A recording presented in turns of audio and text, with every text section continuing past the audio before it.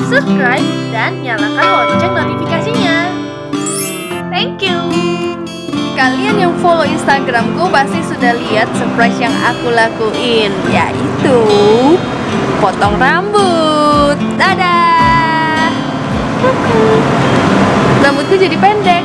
Tuh. Ya kan?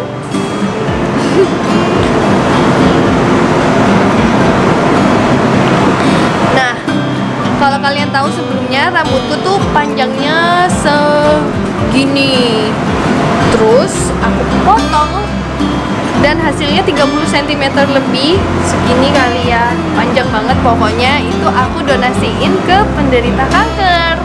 Seru banget proses pemotongannya karena aku deg-degan nekat memberanikan diri juga. Dan ini dia videonya Hai guys. Jadi sekarang aku lagi ada di salon. Seperti yang kalian lihat rambutku. Aku mau potong rambut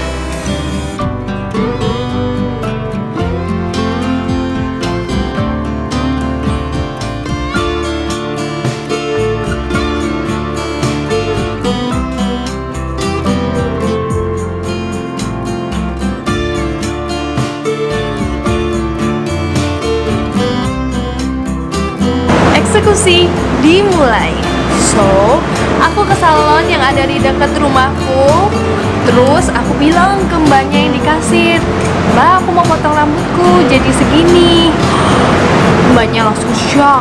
Terus waktu aku ketemu sama Mas Taufik yang motongin rambutku, dia juga shock. Tapi karena tekadku udah bulat, jadi ya dipotong aja. Terus waktu itu aku deg-degan banget jadi dianya juga ikut deg-degan. Maaf ya Mas Taufik menularkan virus-virus deg-degan. Ini pertama kalinya dalam 25 tahun aku akan potong rambutku jadi sependek ini. Nggak gampang sih membuat keputusan ini. Butuh waktu berbulan-bulan. Bahkan saat aku tanya pendapat orang-orang di sekitar banyak yang bikin makin ragu. Mereka bilang nggak cocok ah ah jangan sayang. Nggak nggak nggak nggak nggak. Jangan Ji. Apalah kayak gitu.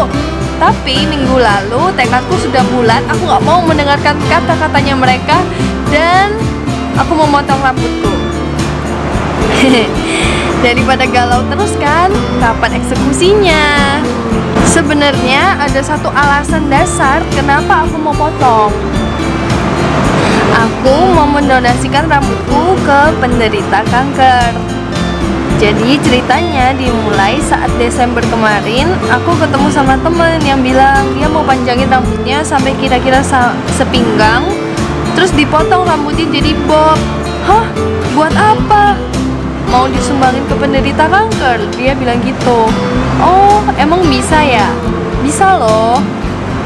Hmm, baru tahu yang di pikiranku waktu itu wah mulia banget ya tujuannya dia. Tapi ya udahlah itu kan keputusannya dia dan itu rambutnya dia. So oke okay, baiklah. Eh ternyata berbulan-bulan kemudian kata-katanya dia dan momen pembicaraan itu terngiang-ngiang terus di pikiranku. Sampai aku merasa Tuhan menggerakkan hatiku untuk melakukan hal yang sama Hmm, ragu banget dong. Iya nggak sih? Ragu pastilah. Terus aku mulai googling gimana sih model rambut pendek. Cocok nggak ya di aku? Dan tanya ke pendapatnya orang-orang. Percayalah, itu semua makin membuat aku ragu. Aku makin ragu dan aku mengurungkan niat untuk memotong rambut jadi aku menunda-nunda potongnya.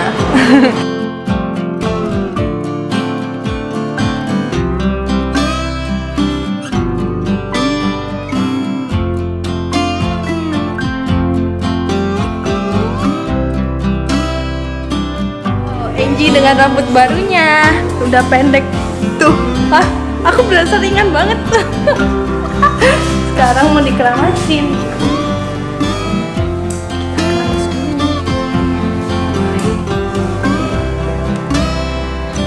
mungkin setelah ini aku bisa melamar jadi pramugari ya. Udah pendek.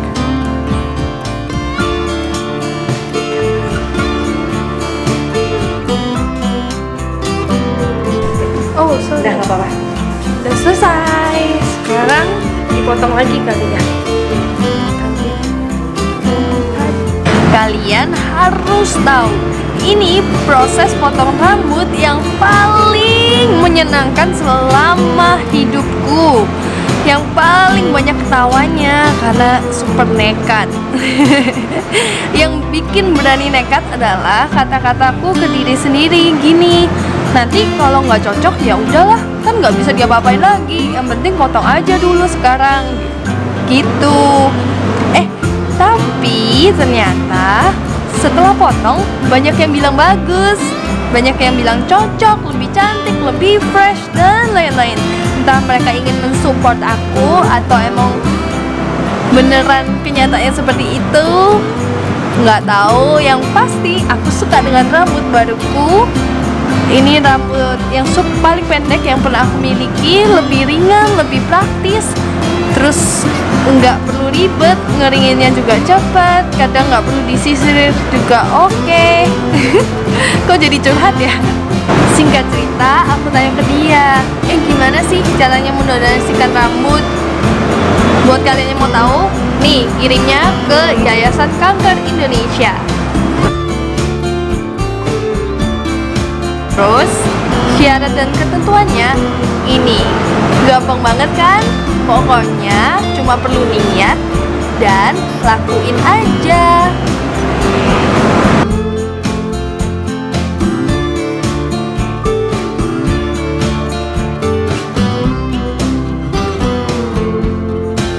Jadi potong pendek. Kata Mas Sofik sih aku jadi keren ya. Ya kan mas? Iya dong. dari situ aku juga berasa aku keren. Yeay udah selesai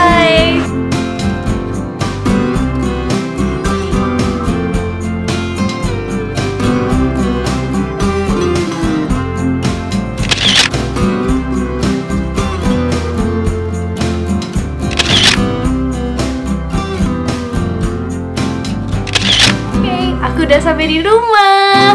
Yeay, finally aku bisa potong rambut.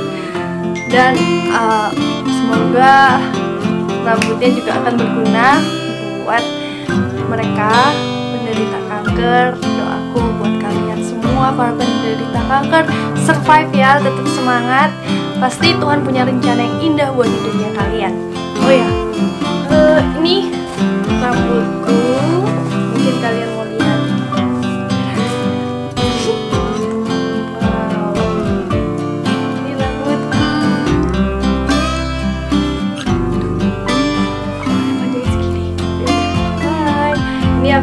Bungkus, masukin ke plastik terus aku kirim. Oh ya, karena rambutku ini warna, jadi aku nggak bisa kasih ke penderita kanker di Indonesia. Aku akan kirimkan rambutku ini ke luar negeri karena mereka oke dengan rambut yang warna. Semoga rambutku bisa berguna ya. Bye, see you the next vlog.